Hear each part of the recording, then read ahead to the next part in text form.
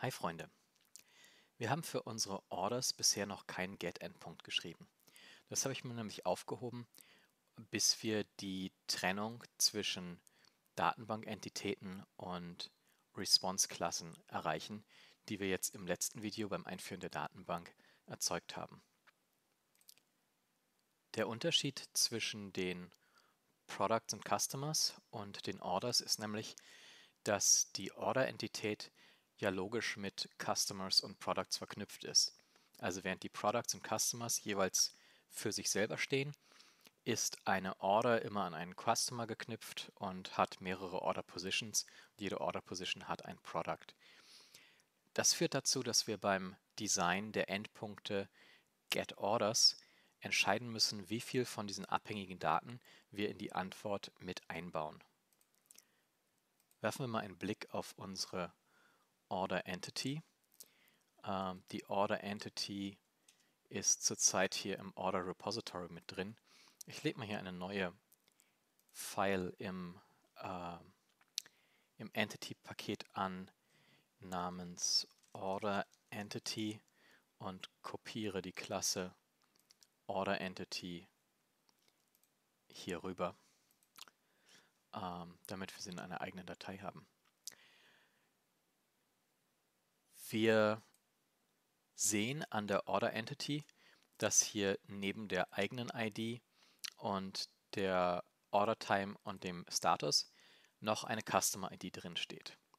Wir könnten bei der Order Entity wie bei den anderen Entities vorgehen und die Order Response eins zu eins die Daten aus der Order Entity übernehmen lassen. Wir haben aber auch die Wahl, den Customer ebenfalls aus der Datenbank zu laden und dann in die Order Response die, äh, die Daten des Customers mit einzubetten. Ich zeige mal, was ich meine. Ich lege hier im Model eine neue ähm, Kotlin-Klasse an, die nenne ich getOrderResponse und unsere bisherige OrderResponse benenne ich mal um zu createOrderResponse, äh, weil das nicht zwangsweise dieselben äh, dieselben Daten beinhalten muss.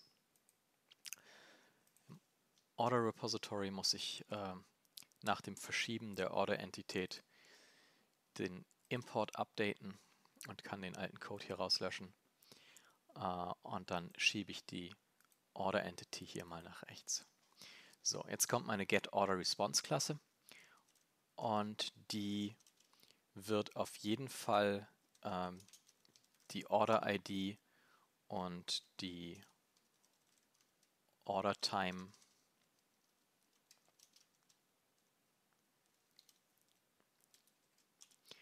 und den Order Status beinhalten. Und jetzt habe ich die Wahl, ob ich hier reinschreibe val Customer ID String oder ob ich schreibe val customer customer response. Und je nachdem, ähm, welche von den beiden Varianten ich wähle, ähm, enthält, äh, erhält der Aufrufer in der Antwort im Endpunkt entweder die Daten des Customers oder nur die ID. Und das ist jetzt keine Entscheidung, die ich prinzipiell treffen kann. Ich müsste jetzt zum äh, potenziellen Aufrufer, also meinem Frontend-Engineer oder dem anderen Team, was äh, von, von seinen Web-Services aus meinen Endpunkt aufruft, müsste ich hingehen und fragen, wozu brauchst du meinen Get-Order-Endpunkt? Was, was machst du mit der Antwort?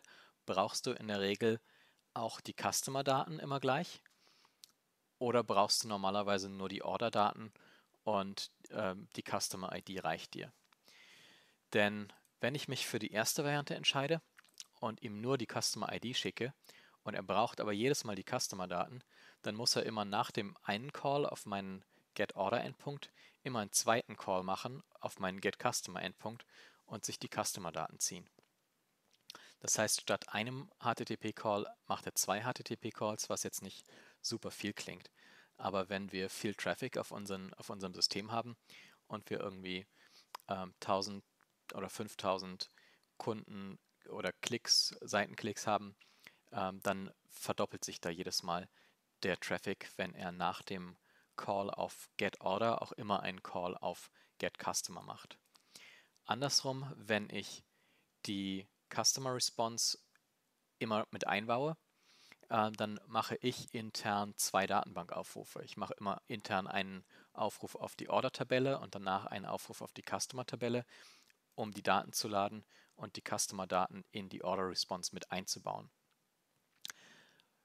Wenn in der Regel aber niemand die Customer-Daten braucht in der Order, ähm, dann mache ich da mir zu viel Aufwand. Das heißt, keine prinzipielle Entscheidung, sondern ich muss wirklich die, die Use Cases kennen. Genauso braucht der Aufrufer wahrscheinlich, wenn er die Order lädt, auch die Order Positions. Das heißt, mein Antwortobjekt muss hier eine Liste von Order Position Responses enthalten. Oder ich mache hier mal eine zweite Klasse draus. Get Order Position Response. Äh, behalten wir hier in der Klasse. Äh, behalten wir hier in der Datei, meine ich. Und die Order Position Response, da machen wir jetzt das gleiche. Wir schauen uns mal die äh, Antwort an äh, die Entity an, wollte ich sagen. Hier ist die Entity. Zack. Äh, also eine Order Position Response braucht auf jeden Fall ID und Quantity. Äh, sie braucht aber nicht unbedingt die Order ID, wenn sie hier sowieso schon in der Order Response eingebettet wäre. Äh, das heißt, dass die Order ID hier reinzustecken wäre vielleicht zu viel und wir brauchen die gar nicht. Äh, bei der Product ID haben wir wiederum die Wahl, schicken wir nur die Product ID und derjenige muss sich dann das Product nachladen oder schicken wir die Product Response mit und die Product Daten sind immer gleich enthalten. Oder schicken wir mit der Order Response gar nicht die Order Positions mit, sondern schicken wir nur eine Liste von Order Position IDs mit und falls der Aufrufer dann die eigentlichen Order Position Daten braucht, muss er pro Order Position einen weiteren Call auf unsere Endpunkte machen und sich die Detaildaten der Order Positions nachladen. Ihr seht, wir haben hier also viele verschiedene Möglichkeiten und das sind äh, Designentscheidungen, die wir jetzt treffen. Also wir designen im Prinzip die Response für unseren Endpunkt und das können wir nicht im Vakuum tun. Wir müssen jetzt also wirklich mit den Frontend-Developern oder dem, dem anderen Development-Team reden, das unsere, anderen, das unsere Endpunkte aufruft. Äh, aus solchen Gründen ergibt es durchaus Sinn, dass eine Firma Teams von, Front, äh, von, von Full-Stack-Developern beschäftigt und ein Team sowohl Frontend als auch Backend baut. Ähm, das kommt also vor und das habe ich in, in ähm, in meinen Firmen durchaus auch gemacht, dass ich quasi parallel das Frontend und Backend entwickle und dann ganz genau die Anforderungen ans Backend kenne, weil ich ja gleichzeitig das Frontend schreibe. Wir sind jetzt hier in einem reinen, äh, ja, in einer reinen Lernumgebung, in einer reinen Lernsituation. Es, es gibt überhaupt keinen Konsumenten und es gibt kein Frontend. Deswegen können wir die Entscheidung hier jetzt vollkommen frei treffen. Und ich werde mal die äh, Variante wählen, alle, ein, alle möglichen eingebetteten Daten äh, mitzuschicken, weil wir damit äh, auch etwas mehr im Hinblick auf, auf die Datenbank und auf Performance und später auf über Caching lernen werden. Ähm, also ich bette jetzt hier in die Order Response die volle Customer Response ein und ich bette die vollen Order Position Responses ein und in die Order Position Responses baue ich die Product Response ein. Also das ist quasi das Maximum, was jetzt hier in unserem Szenario möglich ist. Das ist keine Empfehlung. Das heißt nicht, dass ihr das immer so machen solltet, äh, sondern ihr solltet euch immer nach dem Use Case richten. Und ich ähm, mache das jetzt hier, weil wir keinen echten Use Case haben und weil wir etwas lernen wollen.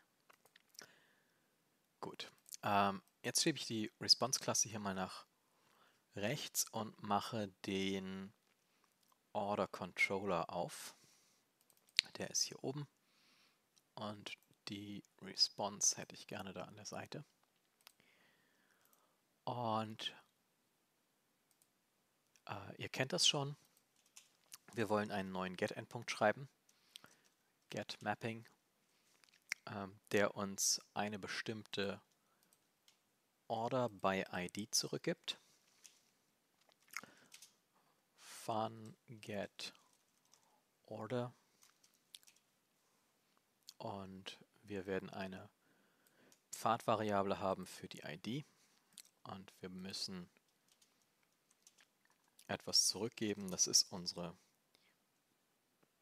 getOrderResponse.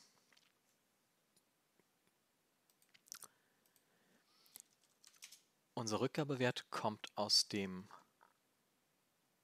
Order Service und die Methode haben wir noch nicht, nennen wir sie get order und wir übergeben die ID. Und mit Alt Enter, Enter erzeugen wir die Methode hier.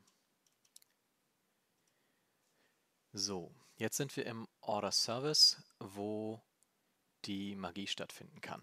Ah, hier müssen wir die Order Entity importieren. Ich klicke mal hier kurz Build, damit wir sehen, ob wir mit dem Verschieben der Order Entity noch irgendwo was kaputt gemacht haben. Nein, haben wir nicht. Ähm, ja, und ich programmiere ganz gern rückwärts, indem ich immer vom Return aus denke. Also wir wollen Get Order Response returnen. Und was die Get Order Response beinhalten muss, sind die Daten der Order. Das heißt, jetzt weiß ich, ich muss vorher aus dem Order Repository die Order laden und ich kenne ja die Order ID uh, und ich benutze get1 statt find by ID und falls die Order nicht existiert, dann wirft JPA gleich den Fehler und ich brauche mich um nichts kümmern. Uh, hier haben wir also unsere Order. Und dann können wir schreiben id gleich order.id und Status gleich order.status und order_time gleich order.order_time. Äh, ja, jetzt wird es interessant. Jetzt haben wir noch zwei Sachen, nämlich Customer und Order Positions, die wir brauchen. Fangen wir mit dem Customer an. Wo kriegen wir den Customer her? Wir haben im Order Service schon eine Referenz auf das Customer Repository. Falls nicht, müssten wir das jetzt hier einfügen. Und dann können wir hier also sagen Customer Repository. One order. Customer ID. Wir laden uns jetzt also aus dem Customer Repository den Customer mit der ID, die in der Order gespeichert war. Und dann können wir hier eine Customer Response erzeugen, die die Daten aus der, aus der Customer Entity enthält. Customer ID, Customer First Name, Customer Last Name, Customer Email, uh, add names to call arguments. So, da ist unsere Customer Response. Jetzt brauchen wir die Order Positions. Also nehmen wir hier das Order Position Repository und sagen find by Order ID ist ähm, inhaltlich, was wir tun wollen. Wenn wir uns das Order Position Repository angucken, gibt es diese Methode noch nicht. Ich nehme hier wieder die Abkürzung ähm, codemäßig und sage findAll.filter, ähm, sprich lade erstmal alle Order Positions aus der Datenbank und behalte dann nur die, deren Order ID gleich ist mit der Order, mit der ID von der Order, über die wir gerade reden. Äh, wir haben das beim letzten Mal schon besprochen. Wir könnten hier eine Methode in unserem Repository schreiben, was äh, die direkt auf die Datenbank zugreift und dieses, diese Auswahl mit einem Select in der Datenbank machen lässt. Aber das können wir später immer noch machen. Äh, ist möglicherweise performanter, aber das soll uns jetzt nicht stören. Solange wir keine Performance-Probleme haben, kümmern wir uns nicht so sehr um Performance. Jetzt haben wir hier also eine Liste von Order Position Entities. Und die Liste von Order Position Entities müssen wir umwandeln in eine Liste von Order Position Responses. Umwandeln aller Objekte einer Liste machen wir immer mit Map. Also wir mappen die Order Entities zu äh, die Order Position Entities zu Order Position Responses, indem wir sagen, Uh, wir müssen mal gucken, was die oh, Get Order Position Response ist. Entschuldigung. Ja, dann brauchen wir also die Order Position ID, die Quantity, Quantity ist it.quantity und beim Product haben wir einen weiteren Fall, wo wir ähm, auf ein Repository zugreifen müssen. Also mache ich uns hier ein bisschen mehr Platz. Hier brauchen wir das Product Repository und sagen zum Product Repository äh, get one und nehmen die Product ID aus der aktuellen Order Position. Product Entity. Und dann erzeugen wir hier eine Product Response aus, dem, aus der Product Entity und eine Product Response enthält ID, No Suggestions. Oh, äh, weil die Product-Klassen Java sind, funktioniert das hier nicht mit den Named-Parametern äh, sondern wir müssen hier nach Reihenfolge gehen. Product Entity Description, Product Entity Price and Cent und Product Entity Tags. So, ähm, das sieht jetzt ganz schön wild aus, also ganz schön tief verschachtelt. Äh, wir haben unsere Liste von Position Responses erzeugt und die kommt hier jetzt noch unten rein und dann sind wir fertig. Und das gefällt mir jetzt codemäßig nicht, aber das Motto ist ja immer erst uh, make it work, make it good, make it fast. Also wir machen es, wir bringen es erst zum Funktionieren, danach machen wir den Code gut und ganz zum Schluss kümmern wir uns um Performance. Ähm, ja, ich habe versucht, die Anwendung zu starten und es ist ein Fehler geflogen.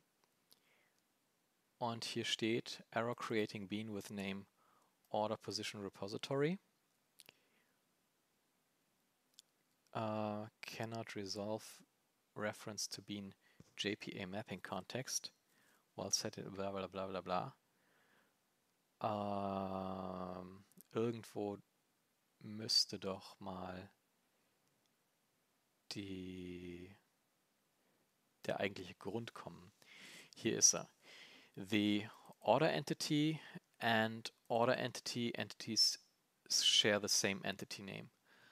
Das klingt, als hätte ich vorhin beim Verschieben der Order Entity äh, es nicht verschoben, sondern kopiert. Ist das richtig? Sieht nicht so aus.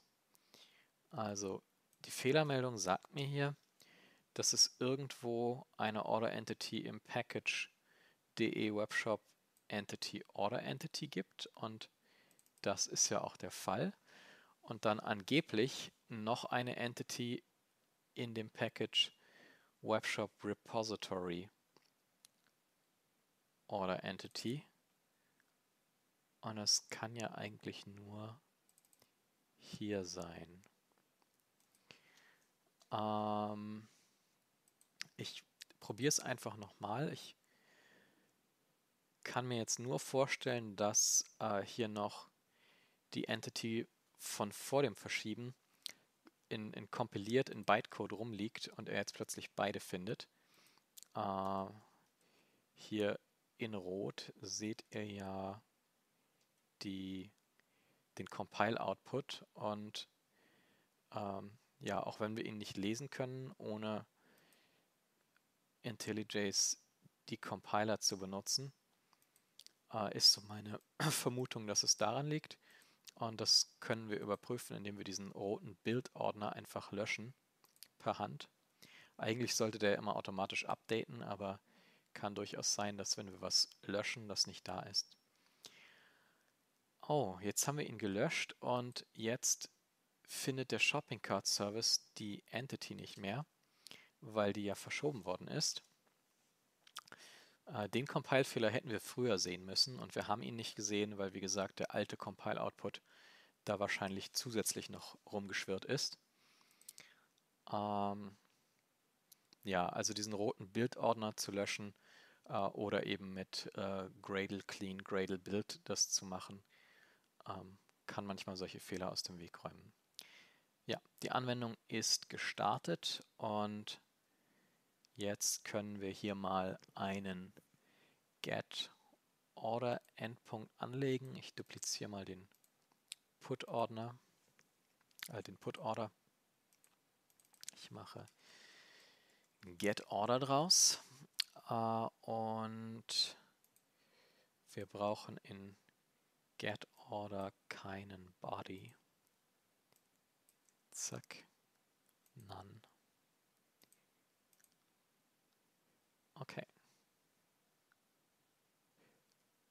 Ah, ich muss hier auch get auswählen statt put. So, das passt doch. Unable to find order entity with ID 1. Ähm, das ist also die Fehlermeldung von JPA. Wir bekommen hier einen Internal Server Error und das liegt daran, dass wir unsere, dass wir diese JPA Object Retrieval Failure Exception, die JPA von alleine schmeißt, in unserem Exception Mapper nicht abfangen. Ich gehe also einmal in den Exception Mapper und sage JPA Object Retrieval Failure Exception soll bitte gemappt werden auf ein Bad Request mit der Message ähm, Object not found. Ähm, Bemerkung am Rande. Ähm, man kann sich jetzt überlegen, ob man diese Fehlermeldung hier äh, dem Aufrufer wirklich zeigen will. Äh, das ist einerseits gut, weil sehr detailliert und wenn wir selber der Aufrufer sind oder Teammitglieder oder unser Nachbarteam, dann erkennen wir hieran ähm, ja, mehr, als wenn wir per Hand eine Fehlermeldung schreiben. Aber wir zeigen hier auch Implementierungsdetails ähm, hinaus an die Welt. Das heißt, wenn unser Endpunkt öffentlich ist und Leute außerhalb unserer Organisation unseren Endpunkt aufrufen, ähm, dann können die hier daran erkennen, dass wir in Java arbeiten, wie unser Package heißt, wie unsere Klasse heißt, dass wir mit Java Persistence API arbeiten und das wollen wir eventuell nicht. Also wenn wir ähm, nicht möchten, dass diese detaillierte Fehlermeldung rausgeht, dann können wir hier einfach die Exception Message rauslassen und können immer nur statisch mit Object Not Found arbeiten. Aber solange wir ähm, ja, möchten, dass möglichst viele Informationen gezeigt werden, nehmen wir die autogenerierte Exception Message. Ja, das am Rande. Und jetzt starte ich die Anwendung nochmal.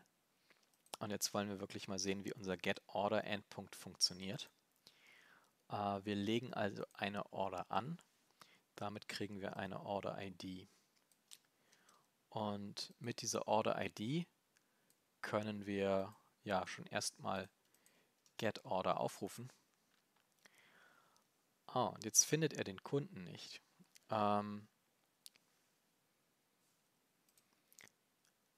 wir haben bei unserem Post Orders, also Customer ID 1 eingegeben. Und wenn wir mal Get Customer 1 benutzen, dann sehen wir, es gibt keinen Customer mit der ID 1. Ähm, ja, wir haben keinen Post-Customer-Endpunkt. Das heißt, ich gehe einfach mal, äh, ich halte die Anwendung an. Ich gehe in die Datenbank und lege hier mal den Kunden an mit, wo ist mein Plus? Hier. Also ID 1, ähm, Chuck Norris at I don't know.com, first name Chuck, last name Norris und äh, wo ist mein kleiner grüner Pfeil? Hier. Speichere das in der Datenbank. Und Jetzt machen wir, äh, ich muss erst die Verbindung zur Datenbank beenden und dann die Anwendung starten. Und jetzt gibt es also einen Customer mit der ID 1, wie wir hier sehen. Und dann kann ich meine Order auch laden. Und meine Order hat eingebettet jetzt die Daten des Kunden Nummer 1. Das ist das, was wir erreichen wollten. Wunderbar und die Order hat noch keinerlei Order Positions, was ja auch richtig so ist. Bevor ich Order Positions anlege, muss ich natürlich erstmal ein Product anlegen oder haben wir noch Produkte in der Datenbank? Oh ja, wir haben. Also ich kann eine Product ID kopieren und gehe zu Post Order Positions und sage, bitte bestell dieses Produkt fünfmal und kopiere mir jetzt noch die Order ID ähm, und die Order ID kommt hier oben rein. Und jetzt lege ich eine Order Position für diese Order an. Äh, ja, ich habe zu viel gelöscht, glaube ich. Nee. Ah, geh weg, rückgängig. Ähm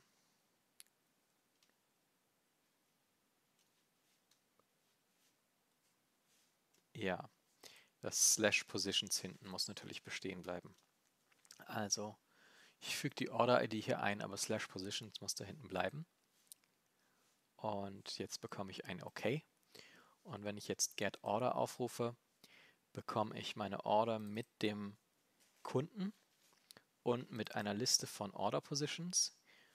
Und die Liste enthält eine Order Position mit der Quantity 5 und einem Produkt. Und das Produkt kommt auch mit den gesamten Daten.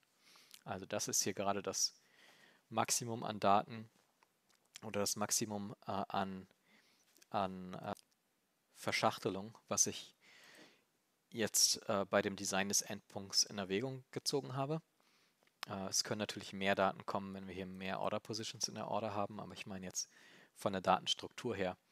Äh, und ihr seht hier an den Einrückungen 1, 2, 3, 4, 5 Einrückungen.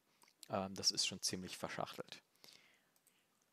Und als Beispiel ähm, in diesem Lehrvideo ist das jetzt auch durchaus gut, aber in, im, in der Praxis konkret muss man sich halt je nach Use Case überlegen, was man wirklich braucht. Und wenn ich jetzt hier noch einen zweiten Endpunkt schreibe, get orders, äh, wo ich also alle Orders im ganzen System lade, äh, dann muss ich mich schon wieder fragen, ob ich dann äh, dieselbe Response-Klasse benutzen will oder ob ich bei get orders vielleicht ähm, die Order Positions weglasse und nur alle Orders inklusive Customer oder vielleicht sogar nur alle Orders ohne Customer anzeige, ähm, weil das natürlich schon ganz viel verschachteltes Laden ist. Also wenn ich irgendwie 1000 Orders lade und für jede Order noch den jeweiligen Customer und für jede Order die 1 bis 10 Order Positions und so weiter, äh, das ist schon eine ganze Menge. Das heißt, ich tendiere dazu bei den Plural-Endpunkten, get orders, ähm, weniger Verschachtelung zu laden als bei einem einzelnen Endpunkt. Und es kann durchaus sein, ähm, dass ich mich entscheide, bei dem GetOrder-Endpunkt auch nicht gleich so viel zu laden, sondern einen zweiten Endpunkt zu schreiben, der dann zum Beispiel noch slash details heißt äh, und wo ich dann in dem slash details Endpunkt mehr verschachtelte Daten mit anzeige als bei dem normalen GetOrder Endpunkt. Also das sind alles Möglichkeiten, die ich beim Endpunkt Design habe. Ähm, aber da geht es, wie, wie gesagt, darum, den Use Case oder die Use Cases zu analysieren. Jetzt machen wir noch ein Commit am Ende des Videos, was ich meistens vergesse. Uh, add get order endpoint und pushen das. Und damit verabschiede ich mich für heute und sage Tschüss, bis zum nächsten Mal.